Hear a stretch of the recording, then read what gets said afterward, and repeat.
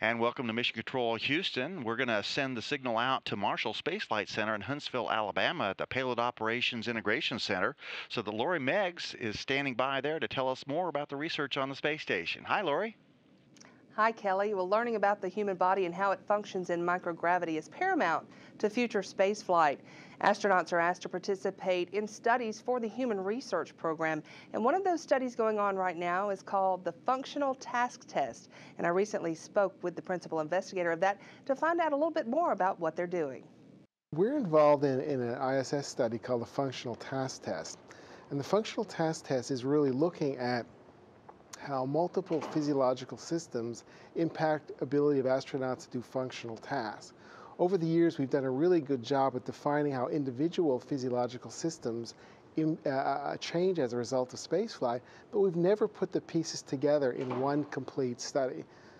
And more importantly, we've never linked those physiological changes to functional changes in astronauts, really operational changes. So the functional task test is really an integrative study involving Three of the labs at JSC, the cardiovascular lab, the neuroscience lab, and exercise physiology lab, are, are focused specifically on making that link between functional changes and the underlying physio physiology um, involved. And you know, ultimately, the reason for doing that is we're interested in developing countermeasures, and we want to focus on the countermeasures, on countermeasures on systems that really make a difference in terms of functional change.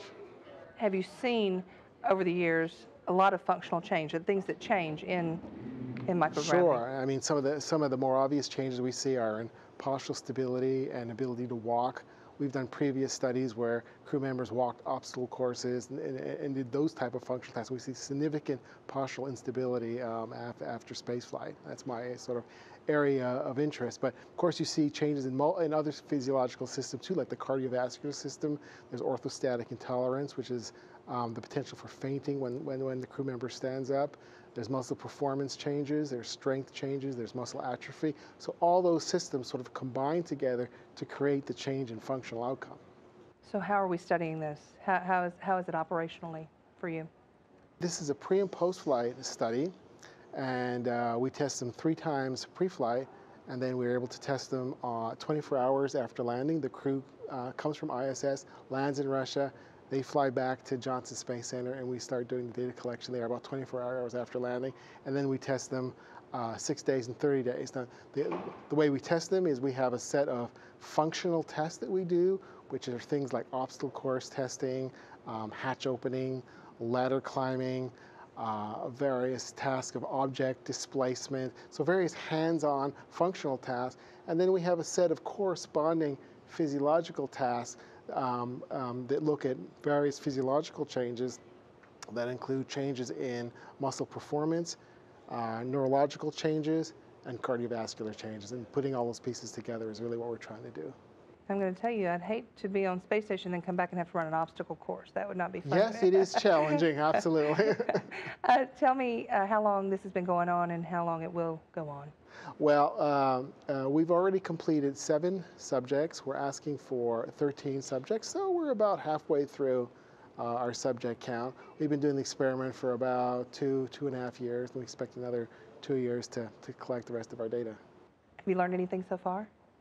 that you can share? some of the preliminary data, when we look at some of the functional tasks, show that clearly the functional tasks that require postural stability are, are, are affected the most. So the obstacle course tests, our, our postural stability tests, those are the tests. Tests that have less requirement for postural stability, like hatch opening, where you can hold on to the hatch, those tests seem to have, are, are less impaired by, by, by spaceflight.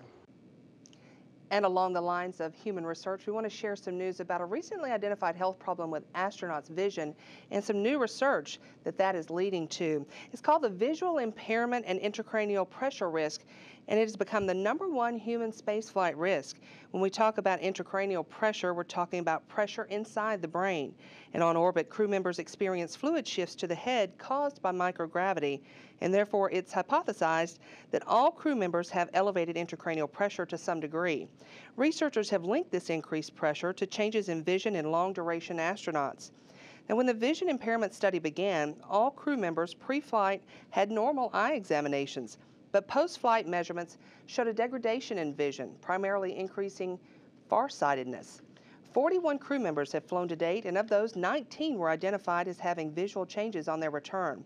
Six did not have symptoms, and 16 others could not be classified, classified as they flew in the early increments, which did not have the imaging techniques available as in the last six to seven years.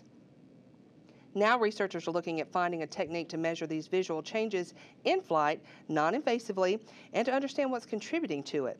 A technique like this is highly sought after on Earth, as well as to measure intracranial pressure, and NASA is on the cutting edge of that research and identifying devices that could be used in flight. Results of these studies may also be relevant for patients suffering from eye diseases here on Earth, such as glaucoma. NASA's Human Research Program will look at this risk over the next 10 years and find investigators to study the intracranial pressure syndrome, which will include clinical and research studies on orbit.